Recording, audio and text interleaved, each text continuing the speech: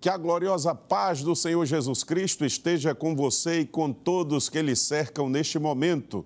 Como é bom estarmos aqui na nossa querida Rede Brasil de Comunicação.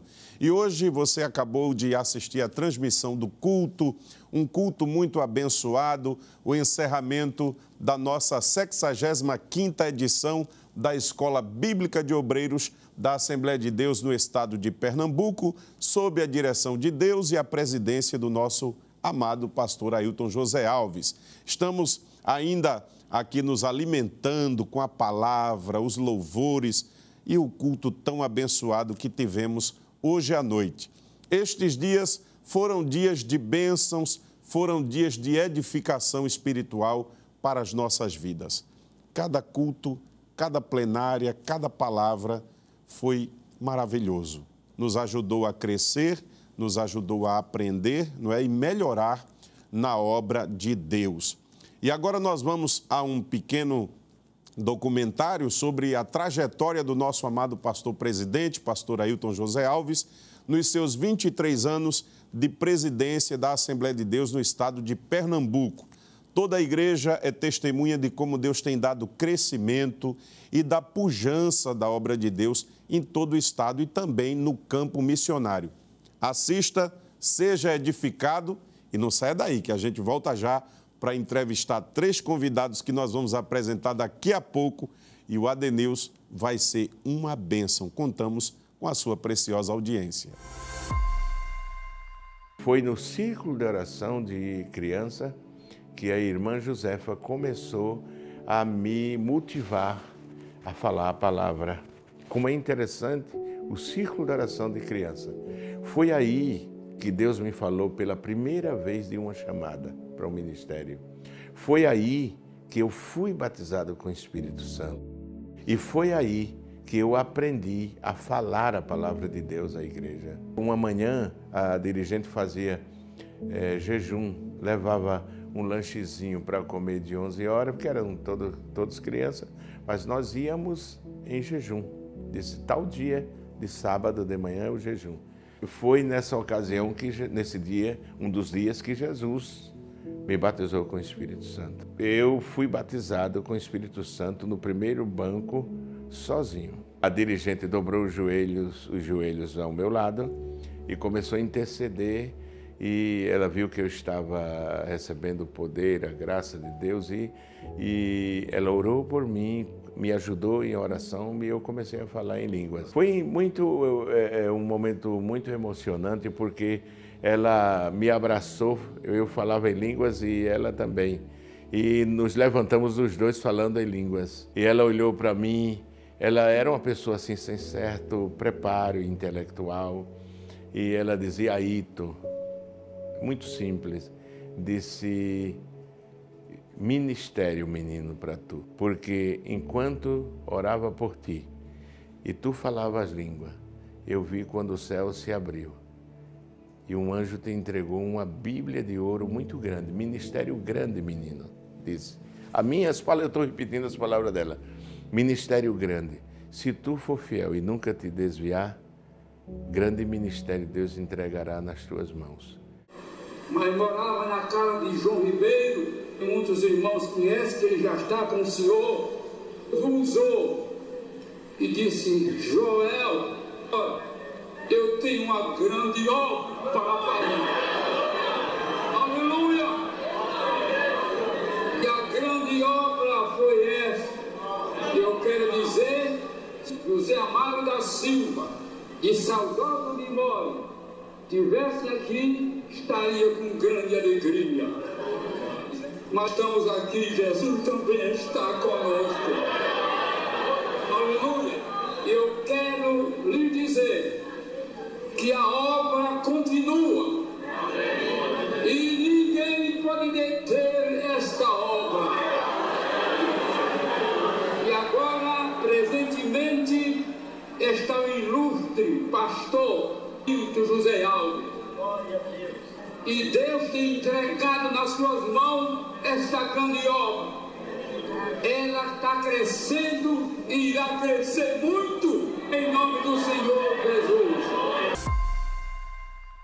Que bênção, que coisa boa. Você acabou de ver aí este pequeno documentário, né? na verdade é um mini documentário diante da grandeza do que Deus tem feito na vida do seu servo, o pastor Ailton José Alves, à frente da nossa igreja.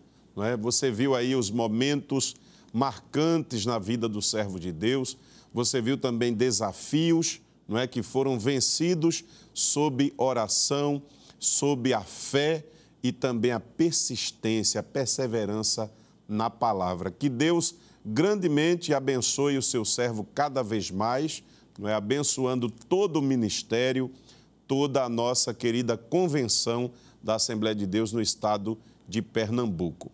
E hoje nós temos três servos de Deus, não é que aqui estão para é, serem entrevistados, para louvar, para cantar e também passar um pouco das experiências que Deus tem dado aos seus servos, né? São obreiros, são pastores e também missionários, né? Que coisa boa. Hoje nós temos três missionários aqui, não é? Porque não existe ex-missionário, né?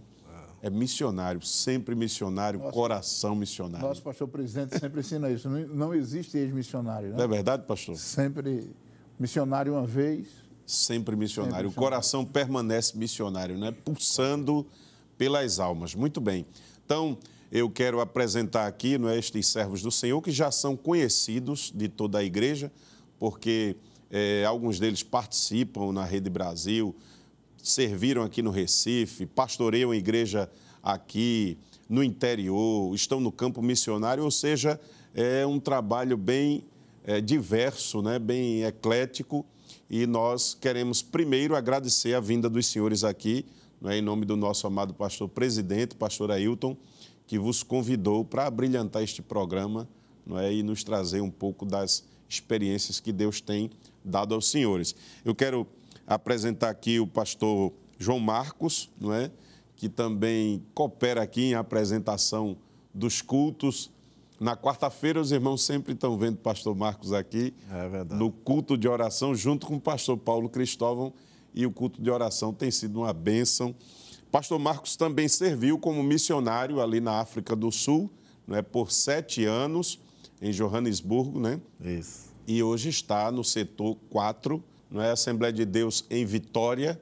Pai do Senhor, pastor Marcos, seja bem-vindo ao AD News Escola Bíblica de Obreiros. Pai do Senhor, evangelista Fábio Benício, e Pai do Senhor, a você que está em casa e participou da transmissão desse maravilhoso culto que foi ao ar esta noite e com certeza você também foi abençoado, como todos nós fomos, e é uma alegria poder estar aqui participando deste momento tão, tão sublime. Que coisa boa.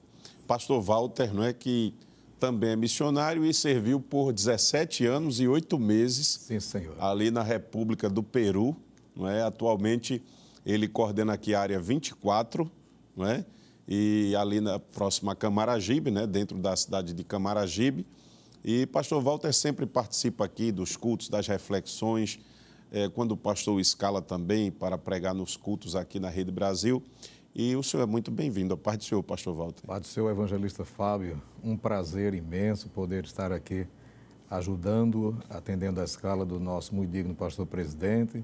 Esse clima de EBO, mais uma edição de muita bênção para nós, ladeado por nossos companheiros, amigos aqui. Me sinto muito honrado, enviando já uma saudação para toda a área 24, os presbíteros, grandes cooperadores do nosso pastor ali em Bairro Novo, Apolo, né, da área 24, Carmelita, São João da Várzea, toda a área 24 é você, meu irmão, meu amigo, que nos acompanha. Vai ser uma bênção, como já declarou o evangelista Fábio. Fique conosco. Né? Bênção dos céus. Pastor Moisés, que também esteve coordenando áreas aqui no Recife, não é? Área 12, área 32. Área 39. Área 39, 65. 60. É uma caminhada boa também, né? E o pastor Moisés atualmente está na missão, não é, no campo missionário ali na África do Sul já há dois anos, né? Já há dois anos. É, quero ah, des, é, deixar a, minha, a paz do Senhor para os irmãos que estão nos acompanhando. Os irmãos da África do Sul, a Rede Brasil tem sido de bênção para, para, para a África do Sul, os irmãos de língua portuguesa, os angolanos, moçambicanos, portugueses. E é, tivemos cooperando com o pastor, aqui, como o senhor disse, coordenando a área, e já há dois anos ali em Joanesburgo, uh, África do Sul. Que benção, né? Então, hoje nós temos aqui é, é, bastante coisa para explorar, não é? Destes servos de Deus, para obter aqui informações e também experiências do que Deus tem feito na vida dos seus servos. O tema nosso de hoje é o obreiro e os caminhos de Deus. Né? Nós sabemos que Deus ele tem os seus caminhos, os caminhos de Deus são superiores aos nossos, é. não é? é? Eu creio que é ponto pacífico aqui entre os pastores de que Deus não revela tudo de uma vez, não é verdade, pastores? É verdade. Ele vai ao, aos poucos mostrando, não é a sua vontade. Seria muito bom que Deus desse logo tudo de vez, né? desse um spoiler completo. Olha, já vai ser assim, assim, assim, mas a trajetória ela é bem longa, não é verdade? É comprida e o caminho às vezes também fica estreito, né? É verdade. E nós vamos louvar a Deus agora, vamos adorar o Senhor, aproveitando que tem pastores músicos aqui, né? que coisa boa. É verdade. Quando o obreiro também canta e toca, é uma maravilha, né? O pastor Marcos sempre está na, nas convenções, nos jejuns também, com os obreiros, quando o pastor lhe oportuniza para cantar e tocar junto com seu irmão, o evangelista Josias, Josias né, Fernandes, e aquele violão abençoado, aquele cavaquinho abençoado. Vamos adorar a Deus, pastor Amém. Marcos. Você em casa é uma canção muito conhecida, você pode acompanhar e também louvar ao Senhor. Semei a semente, se na primavera reguei-a com lágrimas, choro e dor, mas outro talvez cegará o meu trigo com gozo trazendo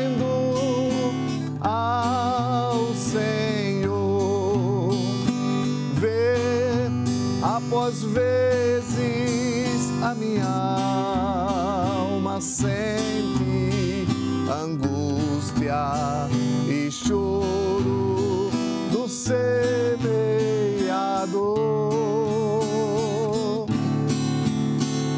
Mas o que semeia, tantos como que ceifam terão recompensa das mãos do Senhor. O ceifeiro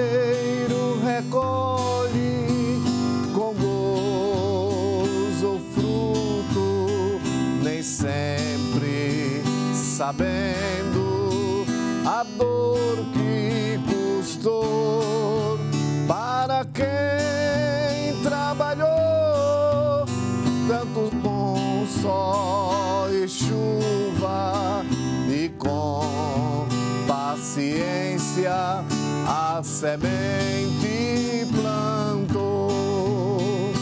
Vez após vezes a minha alma sente angústia e choro do semeador.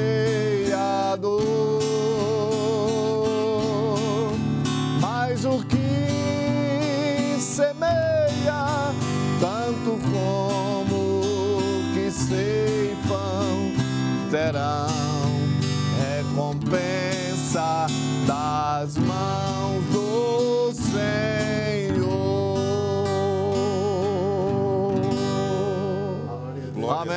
glória a Deus. Que louvor lindo, não é, pastores? Hum. O coração da gente é tocado, né, por estes louvores, porque eles remetem à obra, né? É verdade. Retrata, ao trabalho. Não é verdade? o trabalho, né? A é obra do Senhor. A gente a mente vai direto para as ovelhas, para o trabalho, para a igreja, né? Exatamente. E a obra de Deus é gloriosa, né? É. Nós somos felizes por estarmos na obra. Vamos começar com o pastor Walter, não é? Já vimos que os caminhos de Deus são mais excelentes, são superiores aos nossos, pela palavra, não é? E que Deus não revela tudo de uma vez, ele mostra gradualmente. Verdade. Mas, pastor Walter, Deus, ele, ele vai falando com o obreiro, existe algum sinal que Deus dá? De alguma maneira, o ele faz o obreiro entender os caminhos dele? Como é que isso, como é que funciona essa dinâmica, tanto na vida do crente em geral, não é? Porque nós temos aí uma audiência grande, não só obreiros que estão assistindo, muitos irmãos, membros, congregados, novos convertidos, jovens, adolescentes, anciãos. Isso também é aplicável à vida deles. Então, como é que isso acontece na vida de um servo de Deus? Deus fala, porque a gente que é pentecostal, não é, pastor Walter? A gente quer logo que Deus use um vaso, não é, pastores? A gente quer que Deus fale logo através do dom de profecia. É verdade. Mas existem várias formas né, de Deus Exatamente. falar com a gente. É, lá em Jó nós lemos a expressão que de uma ou outra maneira Deus fala, né? Então há várias formas dele mostrar-nos seus propósitos, seus projetos em nossas vidas. Mas lá também no Salmo 139, o salmista diz: Senhor, de forma terrível tu me formaste, me foste entretecendo no ventre da minha mãe. E ele termina essa consideração dizendo: Tudo como estava escrito no teu livro, nenhuma delas faltou. E aí, naturalmente, entra esse projeto de Deus para a vida de cada um de nós. Deus não nos criou por acaso, Deus não nos criou de forma acidental. Nós não somos resultado de, de um ocaso, um acaso, digo. E você que está aí, considere-se dentro desse contexto. Você não existe por casualidade. Você não é o resultado de um acidente. Você está no projeto de Deus. Deus tem um plano para a sua vida também. E quando lemos essa expressão, tudo como estava escrito no teu livro, Diz também que Deus não apenas criou e nos fez vir a este mundo, Ele está olhando toda a nossa trajetória. E em relação à, à obra, ao chamado para lhe servir, seja no que for na obra de Deus, Ele também tem essa consideração, tem isso ali, como o senhor falou, Ele não revela tudo. Mas o senhor também falou, porque às vezes fica estreito o negócio. Se Deus revelasse tudo, ele ia mostrar também o preço, ia, ia mostrar também os obstáculos, Ia dar vontade de desistir. ia dar né? vontade de desistir. Jeremias fala disso, né? Je- Jeremias diz, tu me iludiste. Tu me iludiste. E aí é onde eu ia justamente falar de Jeremias, quando Deus diz a ele: Olha, antes que eu te formasse no ventre da tua mãe, eu te conheci. Antes que tu saístes, eu te santifiquei, te separei. E aí Deus diz: E às nações te dei por profeta, no caso dele. Então, você nasceu, Deus já sabe perfeitamente o que vai fazer da sua vida. É questão de você aceitar a proposta, o plano, o projeto dele, né? Mas aí vem, ele vai dando sinais, vai, né?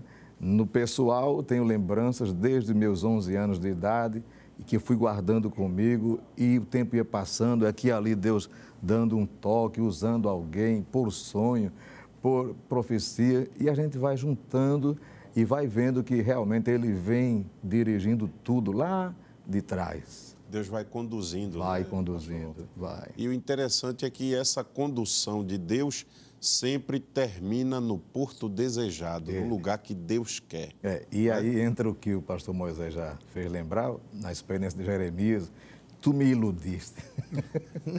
É como que Deus só mostrou as bênçãos iniciais Jeremias. Né? Ele né? olhou e disse, eu te chamei, eu tenho esse plano, o que eu quero?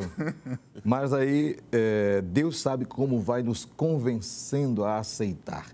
Não porque Ele queira nos explorar, não, é uma honra ser chamados por Ele para lhe servir, mas é porque tem propósitos com aquilo para o qual Deus nos chamou. Voltando ao contexto introdutório da sua fala, apresentando hoje aqui três missionários, né? Deus tinha pensado em abençoar vidas lá na África do Sul através do pastor João Marcos, hoje através do pastor Moisés e os demais. E aí você vai olhando, e diz, ah, por isso que eu tive que passar por aquilo, por isso que eu tive que ir daquele jeito. Foi Deus conduzindo. Ou seja, é uma honra. Pastor Walter, eu estava pensando eh, na sua fala que entre a promessa e o cumprimento dela existe um caminho bem longo chamado preparação e treinamento, né? Processo. É um processo bem pesado. É. É, Pastor Moisés, como foi que o senhor tomou ciência da vontade de Deus para a sua vida? É, o senhor tem aí uma história relacionada ao ensino, à vida acadêmica, né, no seu é, no âmbito secular. Como é que Deus foi conduzindo isso? Como é que a coisa mudou assim da água para o vinho? Né? Para hoje o senhor está na obra, na missão, não é especificamente fazendo a obra missionária. É, Pastor Fábio, veja bem, eu sempre gosto de dizer que ser obreiro não foi uma opção. Não foi uma opção. Foi é, algo que já desde criança né, a gente via o chamado de Deus desde uma cura é, é, é que é, uma, uma, possível cura, porque não, não, não se ficou é, comprovado, mas minha mãe teve é, rubéola comigo no ventre com dois meses e se pensou em, em interromper a gravidez. E aí, como o senhor disse, né, o, o, o pentecostal quer ver uma, é um sinal. o vaso, né? E, foi, e Deus usou, um, um, falou com minha mãe, disse, não interrompa essa gravidez, porque é, é, eu tenho um plano na vida dessa criança. Essa criança vai pregar em outras nações. Então, eu nasci ouvindo isso, né? Ouvindo... Já dentro desse ambiente. De, desse ambiente. Sendo preparado. Aí, com sete anos, Jesus me batizou com o Espírito Santo. Né? E, e, e, e foi muito forte aquilo ali, porque foi minha, minha grande experiência. Eu geralmente defendo que os filhos de crentes eles aceitem Jesus, tem um momento de aceitar Jesus. Eu não tive essa oportunidade, porque Jesus, me, Jesus chegou antes. Jesus já lhe aceitou, né? O senhor já nasceu no lar cristão. Não é? E, e, e, fui batizado com sete anos, e Deus, naquele. Foi um ciclo de oração infantil, e foi uma tarde muito pentecostal, e ali Deus novamente promete que eu seria missionário. E a coisa foi, foi sendo construída. Foi construída e aí depois veio a vida acadêmica, né? dando aula no, no médio, na faculdade. E uma vez eu cheguei a me empolgar com a vida acadêmica, mas aí Deus lembrou novamente. Disse, as minhas promessas estão de pé. E. Ô, pastor Moisés, e, e lidando com a obra, não é? O senhor falando dessa mudança drástica né, de ambiente, de realidade. E para as pessoas no mundo, né, no mundo secular, elas acham que isso é o topo, né? A pessoa está ali ensinando numa faculdade, mas agora é que o senhor realmente está fazendo um trabalho de ordem superior. Muito. Era, era, era o engraçado. Cuidando de ovelhas. O engraçado era quando eu ia pedir exoneração né, dos concursos públicos, quando eu fui pedir é, é, demissão da faculdade, as pessoas diziam, você está louco? O que é que você está tá pensando? É, é, o concurso público, é, você chegou aonde é, todo professor quer chegar. E eu disse, olha, é algo superior. Como Paulo disse, considerei tudo isso como esterco, né? como não é uma perda para ganhar o que é superior, o que superior. é maior, né? que é Cristo. É, pastor Marcos, eu estava meditando, né, enquanto o pastor Moisés aqui falava dessa mudança, né? Quando a gente é jovem, a gente tem muitos sonhos, né? É verdade. E o senhor vem aí de uma trajetória também bastante pontilhada por experiências, é? Vem de uma família numerosa, é filho de pastor, acompanhou seu pai é, até o sertão em uma época em que a religião dominante não é, reinava no Brasil e havia muita dificuldade para se implantar uma igreja. E o senhor era um jovem cheio de sonhos também, tinha os seus objetivos. E como é que isso aconteceu de, de terminar sendo um pastor, não é, cuidando de igreja? Não foi fácil. Primeiramente, é, comecei é, na vida musical, né? Na igreja, com nove anos e poucos meses, comecei. E depois, quando fui ficando assim, quando cheguei no sertão com meu pai, eu estava com 12 anos e 6 meses. E até quando completei os meus 18 anos, o meu, o meu sonho era ser um promotor de justiça. Eu sempre admirei muito. E, mas, de uns tempos depois, mesmo tocando em conjunto, eu comecei a notar que Deus me puxava muito para o estudo da palavra. E, até porque ainda hoje eu tenho rascunho de, de, de Dessa época. dessa época jovem. de jovens que eu ainda não falei. Está lá no caderninho, até um dia Inédito, desse eu né? estava olhando. Inédito. é. Ainda está lá guardadinho. Daquela época que eu já estudava a Bíblia, não tinha essas porções bíblicas que tem hoje, esses livros, essa facilidade, os anos 70, né? Mas é, a coisa que eu mais temia na minha vida era ser um pastor. É. O senhor via a realidade ministerial do seu próprio pai, né? Exatamente. A lida com a obra, É. os desafios. E, e eu, quando estava com 10 anos de idade, os irmãos mais antigos da congregação em Alto dos Coqueiros, inclusive o, o meu primo Pedro de Oliveira, mais conhecido como irmão Dedé, não é? foi maestro do conjunto muitos anos e também do coral. Ele é testemunha disso e outros irmãos de idade que temos ali.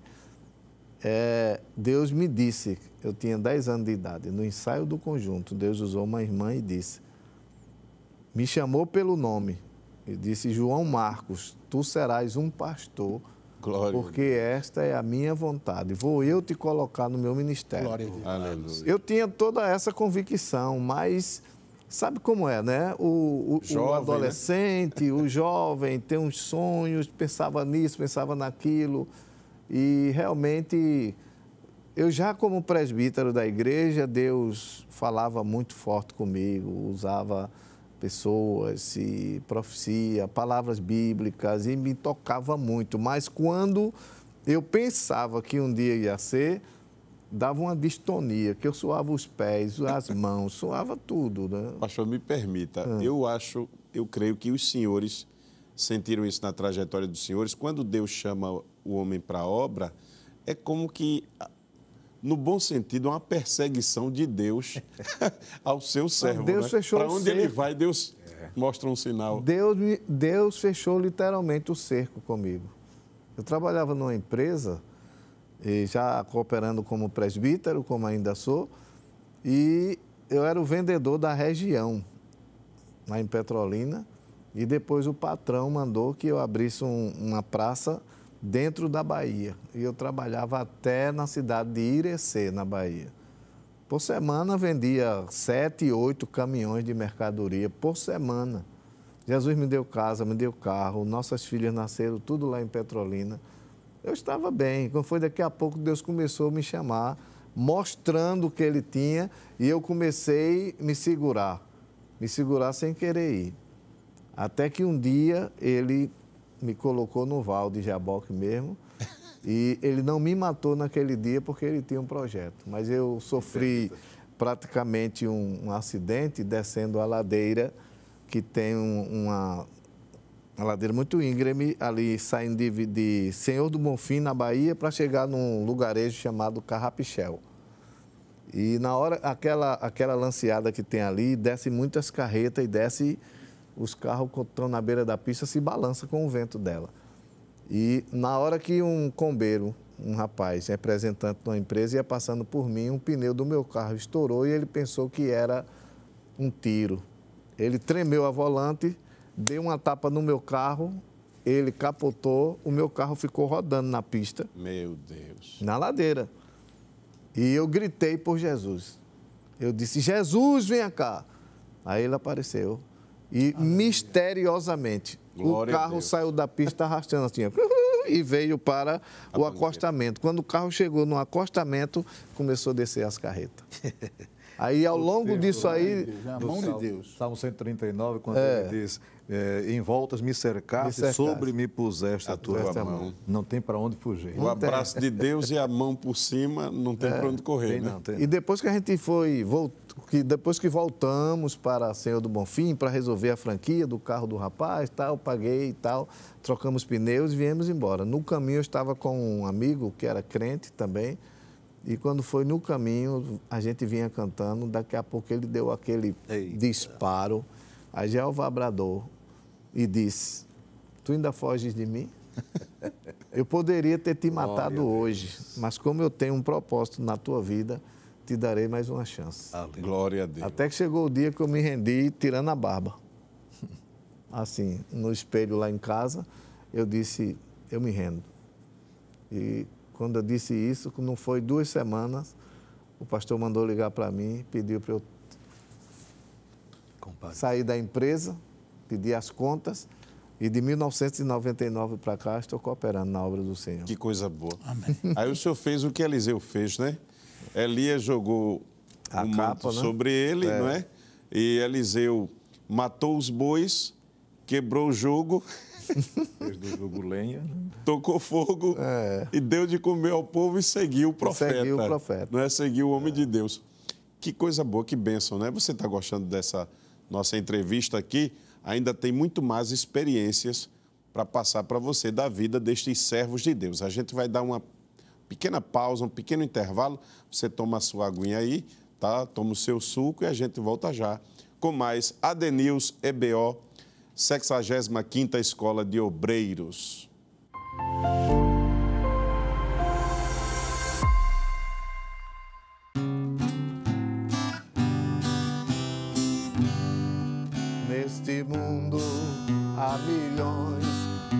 cujas vidas em prisões vivem sempre em desespero e pavor. Dia e noite a chorar, sem alguém lhes avisar. Nós ouvimos seu lamento ao redor.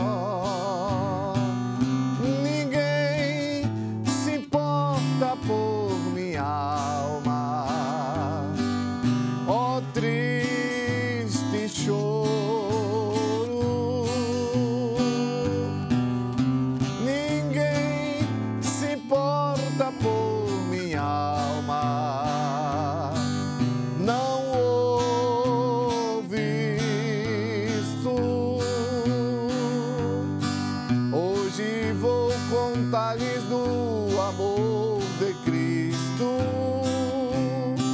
Para salvar-lhe deu sua vida sobre a cruz. Tem ouvido o clamor dos perdidos em redor.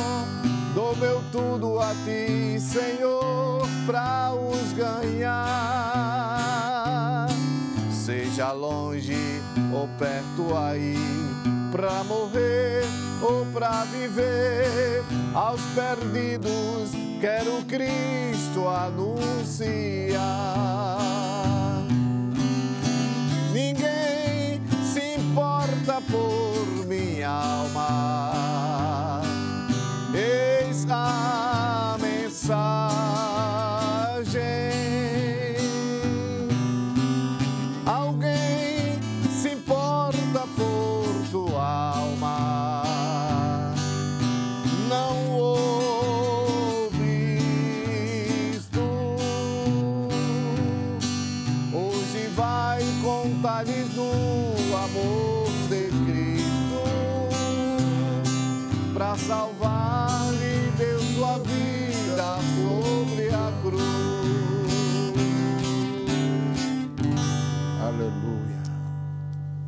Glória a Deus, que belo louvor, que linda canção. Não é um, um louvor assembleiano de raiz, né, Pastor Marcos? A gente lembra daqueles cultos evangelísticos maravilhosos, É né, que marcaram a nossa vida, a nossa trajetória como cristãos. Olha, eu tenho aqui em minhas mãos uma obra recém-saída do prelo, ah, o lançamento do livro, não é de autoria do nosso amado pastor presidente, pastor Ailton José Alves. Este livro, uma trilogia da igreja em Cantares de Salomão. Uma exposição bíblica da igreja como jardim fechado, manancial fechado e fonte selada. São 160 páginas de uma exposição magistral sobre a igreja de Cristo, a sua natureza, não é? E também é, a palavra de Deus como baliza para a igreja. Eu estava é, folheando aqui o livro e vendo uma obra de grande escopo. Vale a pena você adquirir pela nossa Bereia, não é? você que é obreiro, professor de escola bíblica dominical, dirigente de mocidade, dirigente de círculo de oração, enfim, você que serve a Deus, você que ama a literatura cristã, vale a pena obter o livro pela nossa Bereia. E uma dica para você que me permita, como um jovem cooperador do ministério, né? um aprendiz, um discípulo, dar uma dica para você, você que gosta de dar estudo na igreja, o obreiro que quer usar no culto de doutrina, você pode comprar o seu livro, manda encadernar, você coloca um espiral aqui, olha. Leva lá numa gráficazinha, manda colocar o espiral, você chega no púlpito, abre assim e usa, não é, tranquilamente, porque é um livro maravilhoso para dar estudo para a igreja, para usar e ensinar. Adquira o seu, porque esse aqui já é meu, tá certo? Pela Bereia, você pode adquirir o seu, está aí, não é, as informações da nossa Bereia, o telefone da Bereia, 9196-2255, não é? prefixo 81, Recife, Pernambuco, e você adquire o seu livro pela nossa editora Bereia. Mas vamos continuar nossa conversa aqui com os pastores, né, para a gente é, ganhar tempo. Eu gostaria de perguntar aqui ao pastor Walter, não é? Pastor, como um obreiro ele deve se preparar para os desafios deste século? Nós sabemos que cada época tem os seus próprios desafios, não é? Tem as suas próprias lutas. Nossos pais, na fé, não é, pastores? Eles tiveram as suas, os seus embates, mas nós também temos os nossos neste tempo, né? Então, pastor, como é que o obreiro ele pode se preparar para os desafios deste século e também como não ser influenciado, não é, pela mentalidade que domina este momento que nós estamos vivendo? Quando lemos Paulo escrevendo a Timóteo, ele diz: Procura apresentar-te a Deus como obreiro aprovado que não tem de que se envergonhar e que maneja bem a palavra da verdade. Primeiro passo, creio eu, né? Ele ser um conhecedor da Bíblia, pois fomos chamados para pregá-la e ensiná-la. Mas também vemos a necessidade de oração, né? Oração. Jesus disse que precisamos estar sempre em oração. São dois recursos que nos permitem fazer coisas para Deus, como também evitar ser influenciados né, por tantas ideologias, tantos argumentos. Estamos na era já considerada pós-moderna, com uma avalanche de conceitos, pensamentos, filosofias, religiões, que se nós não estivermos atentos à palavra e em oração, seremos facilmente influenciados e, naturalmente, deixaremos de cumprir o propósito para o qual Deus nos chamou. Mas ainda podemos dizer, atentos ao modelo, ao exemplo deixados pelos nossos pais. Né? Vinha pensando neste programa, neste culto, podemos ainda dizer, estamos saindo da, estamos em EBO, EBO eu digo, os nossos pais na fé, eles nos deixaram um legado, um exemplo de servos, de adoradores, de homens de Deus entregues ao trabalho, que quando nós olhamos, nós vamos observar que deu certo. E falando da nossa igreja, essa igreja centenária, essa igreja com mais de seis edições da nossa EBO, eh, seis, digo, 65 vezes já né? é, é, reunidos, formando obreiros, e que tem sido de bênção não só para o nosso estado.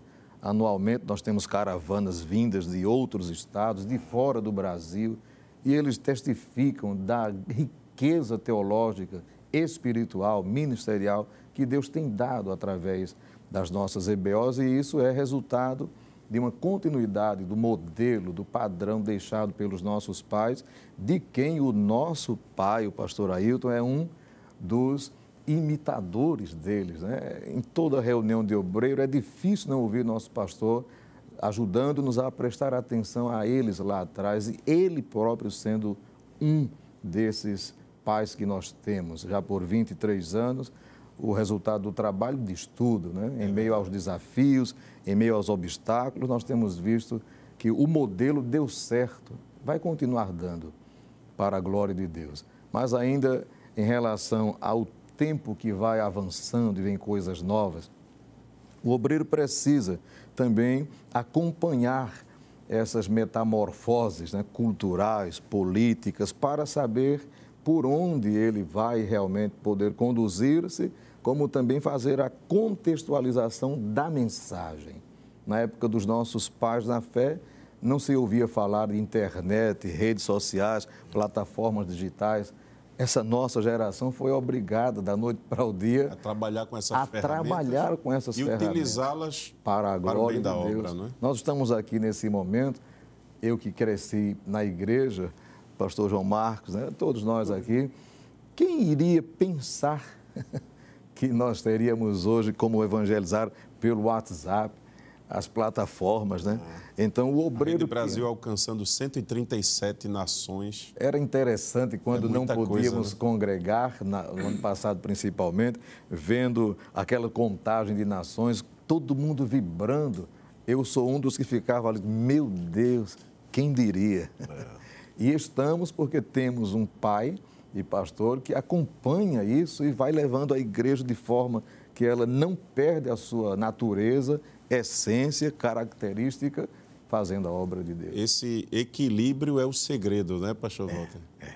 Da obra Exatamente. de Deus. De não comprometer a essência, não é? Como o nosso pastor tem lutado para manter a identidade da nossa igreja, a doutrina, e também se é, é, contextualizando naquilo que é possível para levar essa Saber mensagem. Dosar, né? Saber dosar, dosar a modernidade é. a ponto de não é, é, atrapalhar a essência a ponto de não é, retirar a nossa identidade como Assembleia de Deus, uma igreja centenária. E não ficar também à margem, né? Que você tem que. A membresia está espalhada em universidades, é. Grandes empresas, né, multinacionais. Ela está, a nossa membresia está em todas as esferas da sociedade. Naturalmente, precisamos acompanhar, sem perder a essência. Agora, eu tenho que admitir que eu estou falando como um jovem cooperador no Ministério. Os pais que estão nos ouvindo, eles têm outras é, é, sugestões né, para o obreiro mais novo. Eu não estou dando, dizendo tudo aqui. Com isso e sou disso. Que coisa boa. Pastor Marcos, então, como nosso pastor costuma dizer, o trem está no trilho, né? E não, não precisa sair. inventar muita não coisa. Precisa. Não, não. É só seguir não é, pastor Moisés? Só tanger o rebanho. Né? É isso, né? É. O, o, trem está abastecido e está no trilho. Tá no trilho. Então vamos... E os resultados dizem por si só que a forma é boa. É, é a de se continuar. Que bênção. Olha, é, a obra de Deus é feita com renúncias, né? É. A gente entende aqui pela experiência de vida dos nossos pastores, dos nossos mestres na fé, de que a obra do Senhor é feita de renúncia. Pastor Moisés, vale a pena deixar tudo pela obra? É, se, se, eu tivesse a oportunidade, novamente de, deixaria, não pensava duas vezes e com mais convicção agora. Porque no momento que a gente precisa renunciar, às vezes surge, surgem as dúvidas, mas eu não pensei duas vezes. Eu já falei aqui, né, quando eu iria pedir a exoneração de algum concurso, sempre ouvia uma palavra negativa. E eu tenho a experiência da minha esposa. Porque para gente que tem um chamado direto de Deus, é mais fácil. Mas todos, todos os profissionais da área técnica, o sonho é um concurso público, né? É verdade. É trabalhar na, na, na, na esfera pública. A estabilidade. A, conseguir a estabilidade, né? E ela consegue dois concursos e no ano que ela tomou posse, né, no, no, no segundo, vem o chamado. E o pastor presidente disse: olha, peça demissão, que Deus vai cuidar do senhor. E eu cheguei em casa dizendo, né? E ela disse, tá bom. E o tempo foi passando e eu saí pedindo as, as exonerações e ela lá, parada, não pediu nenhuma. Disse, meu Deus do céu, como é que vai ser esse negócio? E eu lembro-me que vim acompanhando um grupo de irmãs para o Congresso de Mulheres. E aí eu toquei no assunto. Disse, você não vai pedir exoneração, não, meu amor. Você, sem você. Aí ela começou, né? Contando. Mas, filho. É, este benefício, tem isso, tem isso aqui, aqui. Foi, tem... foi um sonho e tal. E que ela não tinha falado ainda, né? E eu fazer o quê? Para matar os bois dá trabalho, né? eu comecei só a orar. Comecei só a orar. Ela disse, e, e ela disse algo interessante. Olha, Deus é Deus. Porque parecia, parecia não, Deus estava, estava ouvindo, mas parecia que é, o, o mensage, um dos mensageiros do, do Congresso de Mulheres estava sentado atrás do meu carro. Porque ela disse assim: Deus não fala comigo diretamente. Por que, por que isso não acontece? E foi, né? Contando, Contando a, aquela, a, história. aquela história. Quando chegou aqui no Congresso de Mulheres, Deus usou um, mensa, um dos mensageiros da noite e disse assim: Tu disseste. Aí começou contando, contando a, a, perseguição de Deus. A né? história, a história que ela vinha contando no carro. Tu disse que eu não falo com. E eu não estou falando agora. Glória a Deus. Não é? Eu não estou falando agora. E foi um, um, momento assim que. E quando eu subo, eu subo de, de, um lado do tempo central, ela sobe do outro. A gente se encontra no pátio, a gente se abraça lá, começa a chorar. Eu digo, eu disse, amanhã eu peço a exoneração de tudo, porque eu sei que. Foi o aperto de é Deus, o querer, né, É o querer de Deus. Então é difícil a renúncia, mas ela. Ela é algo que quando a gente faz, a gente se sente melhor. Glória a Deus. Porque a gente está abraçando um chamado. Nós estamos abraçando com, com uma convicção daquilo que Deus ele tem, ele tem para nós. Glória a Deus. Quando o senhor falou, Deus não mostra tudo, aí entra uma parte disso que ele não mostra, que só depois de aceitar você vai começar a experimentar. Em Marcos, o evangelista diz assim: e eles iam pregando, ensinando, e diz, e o Senhor ia cooperando com eles. Isso. Quando você aceita e se envolve e começa a ver Deus agindo por você, através de você, aí você diz, agora sim. Fiz a coisa, fiz a coisa certa. É gostoso quando eu leio isso e, e ia cooperando com eles. Que privilégio nós temos. Grande. É verdade. É interessante, para a visão secular não faz sentido. Não né? faz sentido. O que faz sentido é você ganhar mais, é, ir é. para uma posição Trocar maior, carro, né? todo ano. É, ter um carro mais sofisticado, um apartamento melhor. Mas a obra é você deixar tudo para sofrer por Cristo, não é? E, e, servir a igreja do Senhor. Só que é justo isso que realiza, que realiza. o servo de Deus, não é? Que nos realiza. Jeremias, quando ele disse, eu não vou mais falar sequer no nome dele. Mas depois ele havia um fogo. Um fogo ardia dentro ardia de mim. Ardia dentro de mim. Eu, dizia, eu preciso estar aí. O próprio Paulo diz, me é imposta a necessidade, eu preciso fazer. Ai de mim, né? Ai de mim. Ah, notando o que a pergunta que o senhor fez ao pastor Moisés, aí entra a renúncia de Moisés, né? Moisés tinha tudo para ser um dos faraós, né? É. Era um príncipe do Egito. Era um príncipe do Egito, um homem que poderia sentar Exatamente. naquela cadeira e mandar, mas o escritor aos Hebreus disse que ele rejeitou ser chamado filho da filha de Faraó, escolhendo antes ser maltratado com o povo de Deus do que por um tempo ter o gozo do pecado. Pastor Marcos, ser maltratado junto com o povo de Deus. Hum é melhor do que qualquer posição nesta Exatamente. terra. É e, e, essa expressão, pastor Marcos, ela é muito forte, porque, em, em outras palavras, o escritor está dizendo que ele, ele abriu mão de uma possível sucessão Exatamente. ao trono do Egito, que era a potência Ou da seja, época. é como que na carreira profissional Moisés estivesse de vento em popa, né? É. A caminho do topo. É. Mas ele, quando olhou ele disse, não, esse caminho por aqui é mais produtivo. Que coisa linda.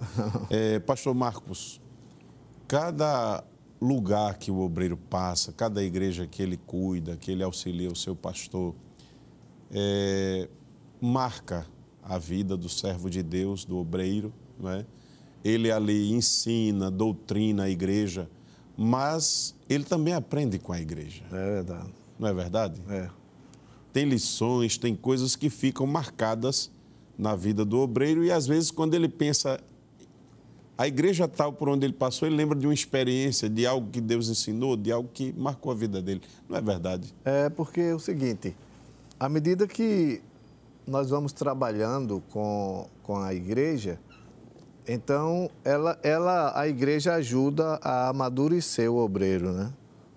A igreja ajuda a amadurecer o obreiro. Eu me lembro que, que o primeiro, a primeira cidade que eu cooperei com o pastor presidente foi a cidade de Arco Verde.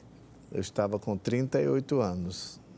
Mas cheguei lá para cooperar e foi o meu primeiro trabalho assim pastoreando. E eu vi que hoje eu tenho lições daquela igreja que hoje me serve como testemunho para levar a, a formação de outros obreiros. O pastor, me permita. Às vezes acontece aquele choque assim que o obreiro tem mil ideias na cabeça, vou fazer isso, vou fazer aquilo, e quando ele se depara com a obra de Deus. O campo missionário é o maior exemplo. Eu ia, eu ia. O campo missionário, olha. Eu ia pontuar isso. Quando, quando a Segura gente, aí para o senhor falar essa Quando essa... a gente chega no campo missionário, pastor Walter tem bem mais tempo de missões do que tanto a minha pessoa como o pastor Moisés, ele sabe disso. A gente vai com N projetos, mas quando chega lá, recursos humanos, recursos financeiros, trava de uma maneira que estratégia. se é, trava de uma maneira que se você não tiver convicção de que Deus lhe chamou para ali, você é capaz de desistir, porque todo todo obreiro, mesmo sem ser missionário, mas todo obreiro, aonde ele chega, ele tem um período de adaptação àquele povo e o povo a ele. E esse período de adaptação é exatamente o período em que o obreiro vai experimentar a convicção daquilo que Deus disse a ele: você vai servir aqui. Porque, é o carimbo, né? É, porque para cada lugar, Deus tem um, uma, eu, eu diria assim, para cada lugar que a gente vai para cooperar com o nosso pastor, Deus tem um ambiente diferente para a gente somar ali naquele lugar. Tem, é, eu, eu vivi uma experiência na África do Sul de, de ter uma ousadia de alguma, alguns detalhes da vida espiritual que eu aqui no Brasil eu não faço. Ou Porque seja, eu... foi uma, uma, uma, um momento especial que o Espírito Santo lhe deu aquela unção naquele momento para aquela tarefa. Eu particularmente, eu particularmente, não sei, eu acredito que os missionários que estão aqui também experimentaram isso. Mas eu particularmente, no campo missionário, eu senti uma graça mais abundante. Devido aos desafios, porque é aquilo, quanto mais você se aproxima numa guerra do inimigo, mas você tem que ter mais artilharia e ir atirando mesmo para vencer. Então, o campo missionário é isso. Você entra e é, é guerra.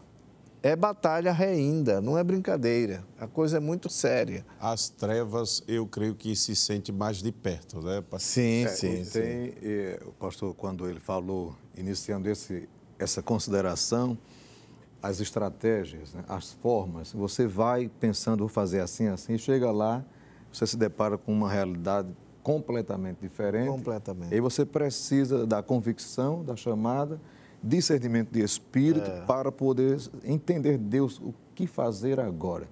E me lembro que nos primeiros anos eu dirigi o culto, tratava de tocar violão, evangelizava, discipulava, professor de escola e pregava, tudo, tudo. Mas chegou um período, cinco ou um pouco mais de anos depois, claramente Deus falou comigo na madrugada e disse, e disse você agora vai diminuir, porque eu já tenho gente para usar que aí bênção, também. glória a Deus. Foi quando, aí foi quando o senhor reduziu a marcha. Né? Reduzi a marcha para deixar, inclusive, que os dons fluíssem Exatamente. em outros, né? Então, tudo isso aí, o pastor falou, experiências lá que aqui não precisou, né? E me lembrei desse particular. Agora, é gostoso, né? É gostoso. É gostoso. O pastor. Agora, agora imagine, é, é, pastor Fabiano, com todos esses desafios que o pastor Marcos relatou, que o pastor é, também relatou, o meu caso, eu tive todos esses desafios e teve a pandemia. Veja que Foi coisa. um acréscimo bem pesado. Foi- Olha, quatro meses com o templo fechado. Meu Deus. Porque na África do Sul foi um dos lockdowns mais duros que aconteceu no mundo.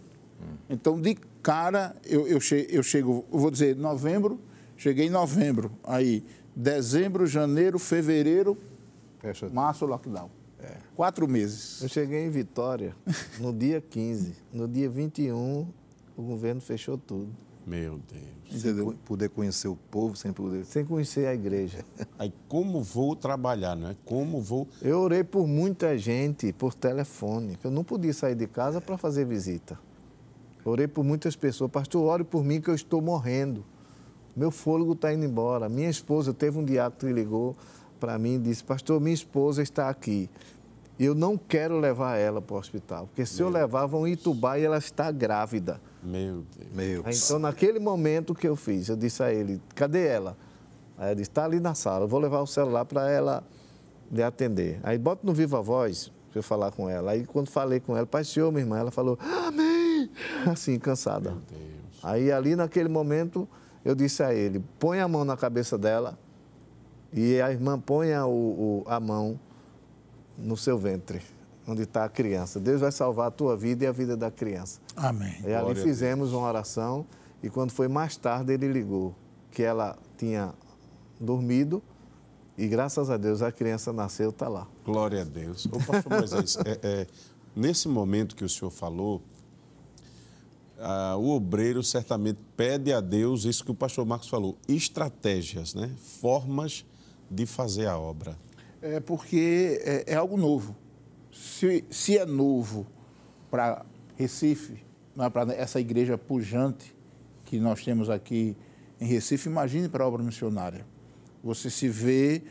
Eu tive, eu conheci membros da nossa igreja, pastor Marcos, agora quando caiu para o nível 2. De abertura. Um ano e 11 meses depois que cheguei no campo missionário, eu conheci, porque quando eles têm um holiday, que o senhor conhece, né? É, em dezembro, a África do Sul praticamente Fecha tudo. esvazia. E a gente vai para.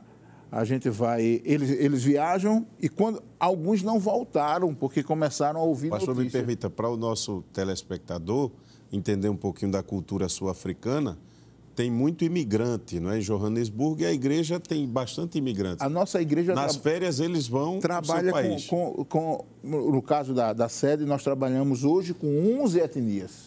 Entendeu? Então eles foram e, ou- e outros não voltaram. Alguns que, por conta da abertura, é que as empresas começaram a abrir, aí eles voltaram agora. Então, 11, um ano e 11 meses depois que eu cheguei no campo missionário, conhecendo ovelha ainda, por conta do, do, E essa era uma das eh, coisas que falávamos para os irmãos aqui, orando pelos missionários. Digo, meus irmãos, eles estão atravessando um momento ímpar. Nenhum missionário até o momento passou por algo parecido. né? Como também orando pelo nosso pastor, ele dizia: tocou-lhe pastorear num tempo inimaginável. E no campo missionário, às vezes nós observávamos a África do Sul, como o Peru, a Argentina também, que foi um dos mais afetados, né? E ainda hoje estão sofrendo. com- Pastor Walter, nesses momentos que testam a chamada, neste momento que, nesses momentos que o obreiro enfrenta de grandes desafios, às vezes dá uma vontadezinha de voltar atrás.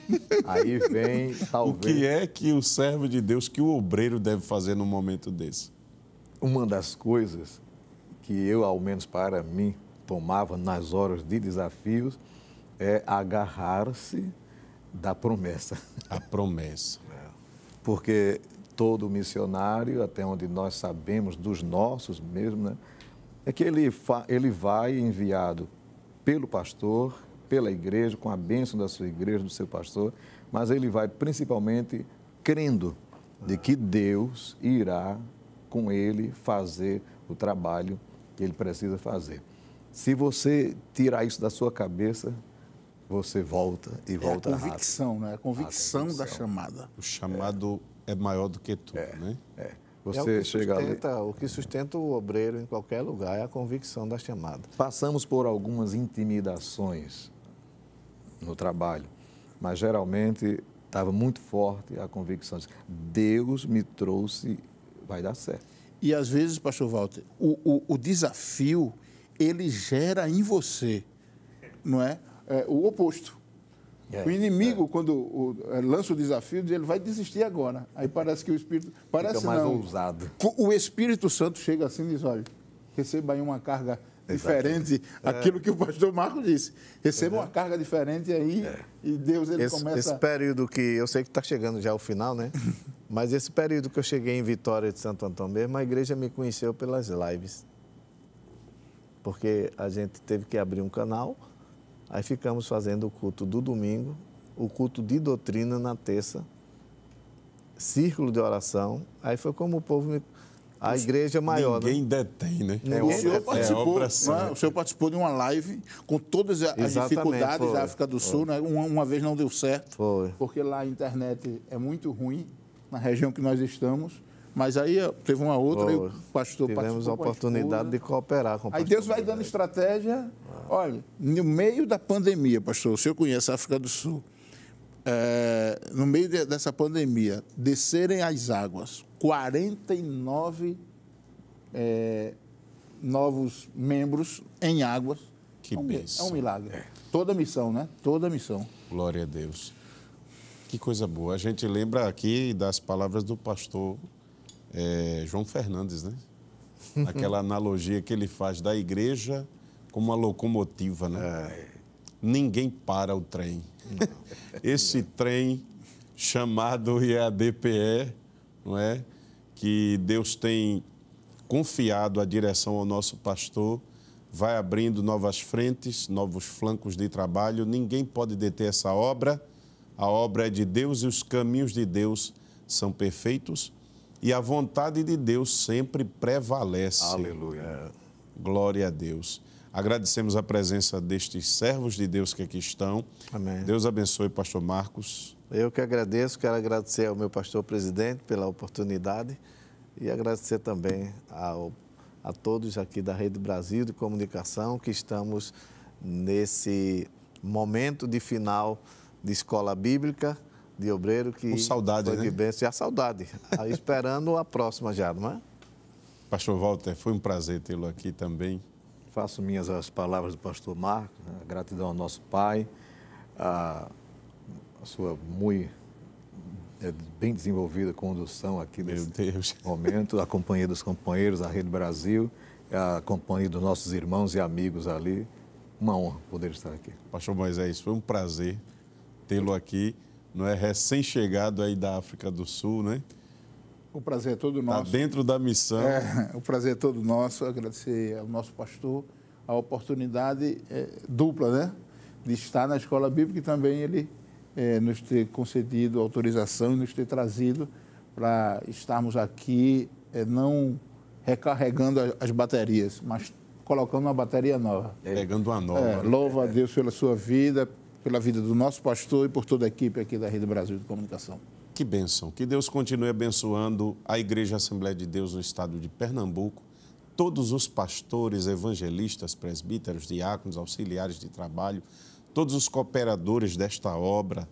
Que Deus continue dando saúde ao anjo da igreja, força, não é? dando direção nas suas decisões para conduzir esta igreja que tem sido uma fonte de bênçãos para todos nós. Quero lembrar você que a programação continua, ainda tem muita bênção na nossa programação e amanhã você tem a transmissão do culto de doutrina da Assembleia de Deus lá no Templo Central e você vai se alimentar né, através da vida do nosso querido pastor pela palavra de Deus. Gratidão aos servos do Senhor que aqui estão. Que Deus os faça cada vez mais prósperos e fecundos, como Ele tem feito. Né? Nós temos aprendido com estes homens de Deus que ajudam o nosso pastor. Obrigado pelo seu carinho, obrigado pela sua preciosa audiência e não esqueça de adquirir o seu livro não, viu? Uma trilogia da igreja pela editora Bereia. Que a graça do nosso Senhor Jesus Cristo, o amor de Deus, o nosso Pai, que a doce comunhão e a divina consolação do Espírito Santo seja com você e com todos que lhe cercam, desde agora e para sempre. Amém.